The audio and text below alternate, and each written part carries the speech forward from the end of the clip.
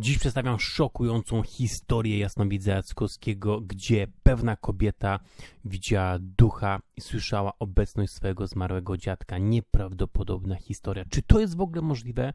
No właśnie, dzisiaj przedstawiam przerażającą, mrożącą krew w żyłach wizję przepowiednie jasnowidza Jackowskiego, która dotyczy mm, jego przyjaciółki, pisarki, ale o tym wszystkim w dalszej części tego filmu.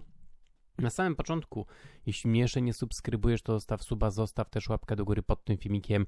Kliknij grzew dzwona, dostaniesz powiadomienie, kiedy wrzucę nowy filmik. Wejdźcie też na mojego fanpage'a na Facebooku, zalajkujcie go. Link do tego fanpage'a znajduje się w opisie tego filmu. No właśnie, dzisiaj przedstawiam przerażającą historię. Jest to historia przyjaciółki Jasnowidza Jackowskiego. Historią tą podzielił się z widzami Jasnowic na swoim kanale gdzie e, praktycznie ta jego przyjaciółka, pisarka, e, odczuwała obecność swojego zmarłego dziadka, widziała też tego zmarłego dziadka i słyszała e, tego zmarłego dziadka.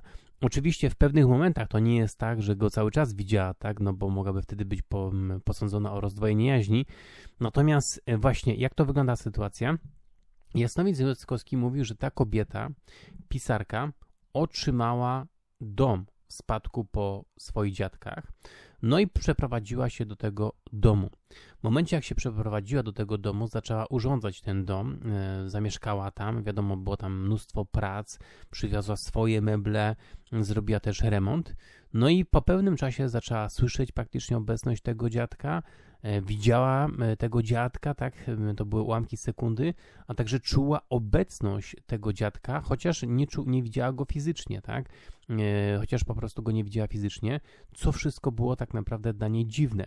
Natomiast ta mm, kobieta, ta pisarka mówiła o tym, że ten dziadek był bardzo mocno zżyty z tym domem, że on budował ten dom, tak, dużo remontował, dużo włożył praktycznie wkładu pracy serca w ten dom, no i zawsze mówił, że do końca życia będzie mieszkał w tym domu, nigdy się nie rozstanie z tym domem. No tak, takie, takie charakterystyczne praktycznie dla tych starszych ludzi, którzy na przykład mają swoją ziemię czy ojcowiznę i oni mówią, tu się urodziłem, tu się wychowałem, tu pracowałem, tu wychowałem swoje dzieci i tu na tej ziemi też umrę, tak? tu przyjmowałem wnuki, czy po prostu urodziły się moje wnuki i tak dalej. Tutaj te też na tej ziemi umrę. No i właśnie ta kobieta opowiedziała o całej tej historii, jeśli chodzi o jasno, właśnie z tym dziadkiem Jasnowidzowi Jackowskiemu. No i Jasnowic mówi, tak, że w takiej sytuacji to jest sytuacja, kiedy dusza zabłądziła, kiedy ona tak naprawdę nie wie, czy odejść z tego świata tutaj, jeszcze realnego, czy po prostu przejść na tamten świat. No bo ten dziadek w sensie fizycznym zmarł, nastąpił akt zgonu, natomiast jego dusza jest tak mocno przywiązana do tego życia tutaj, że jeszcze nie odszedł. No i tutaj Jasno Jackowski mówi o takiej sytuacji, że mm, są oczywiście pewne działania, e, kiedy trzeba tą duszę mm, no po prostu wyprosić już z tego życia.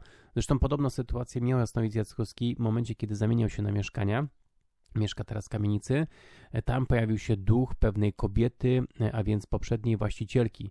E, no i Jasnoń Jackowski mówił tak, że trzeba po prostu otworzyć okno, żeby ten duch wyleciał, że trzeba po prostu mówić stanowczo, wyprosić tego ducha, tak jak do człowieka, żeby po prostu ten duch opuścił już to mieszkanie.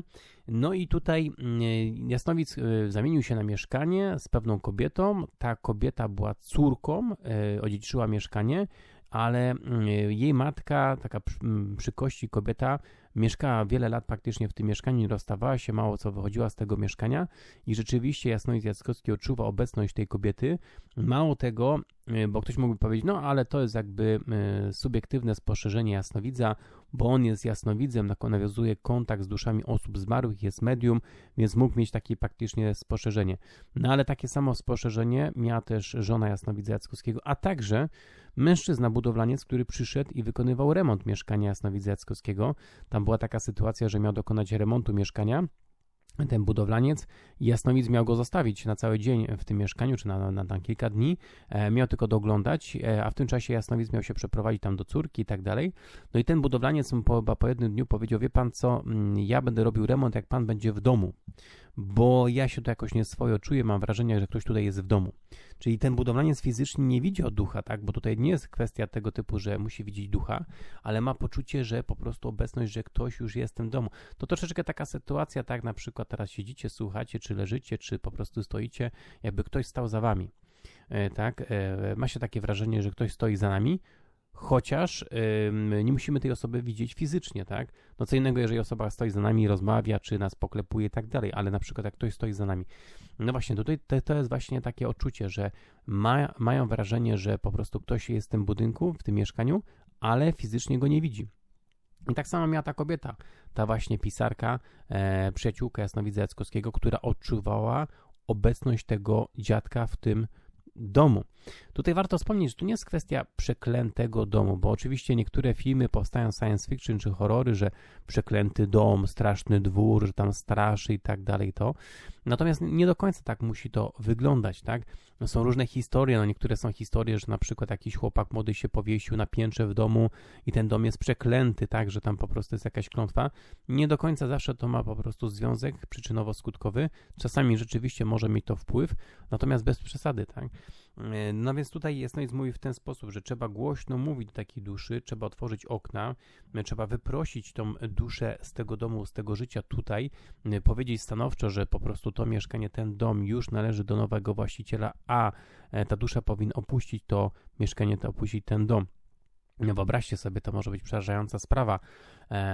Ktoś kupuje na rynku wtórnym mieszkanie, czy też dom, płaci za niego mnóstwo pieniędzy, kilkaset tysięcy złotych, czy nawet milion złotych za dom, wprowadza się do niego, robi remont jeszcze, bo często jest tak, że na przykład nowi właściciele, zanim się wprowadzą, to robią generalny remont, wprowadzają się do niego, a tu się okazuje, że ten dom jest jakiś mm, w cudzysłowie nawiedzony, tak rzeczywiście od, y, y, czuć ducha tej poprzedniego właściciela. No jest to straszna sprawa, przerażająca, tak?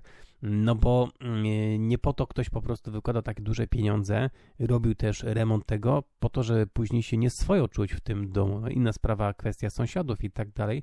Natomiast no, nikt nie, nie po to po prostu ktoś robił remont i kupował, żeby teraz się czuć nie swoją.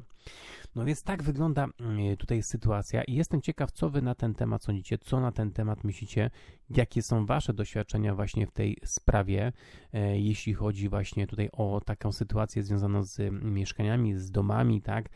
Czasami są takie legendy dotyczące na przykład strychu, że w jakimś domu na strychu ktoś się powiesił, że tam straszy, że tam się dzieją różne dziwne rzeczy, zdarzenia, tylko nie iść na strych, bo tam jest po prostu miejsce przeklęte i tak dalej. Jestem ciekaw, co Wy na ten temat sądzicie, co na ten temat myślicie. Podzielcie się swoimi historiami w komentarzach pod tym filmem. To wszystko na dzisiaj. Dzięki za oglądanie, dzięki za słuchanie. Jeśli mnie jeszcze nie subskrybujesz, to zostaw suba, zostaw też łapkę do góry pod tym filmikiem. Kliknij grze w dzwono, dostaniesz powiadomienie, kiedy wrzucę nowy filmik. Wejdźcie też na mojego fanpage'a na Facebooku, zalajkujcie go.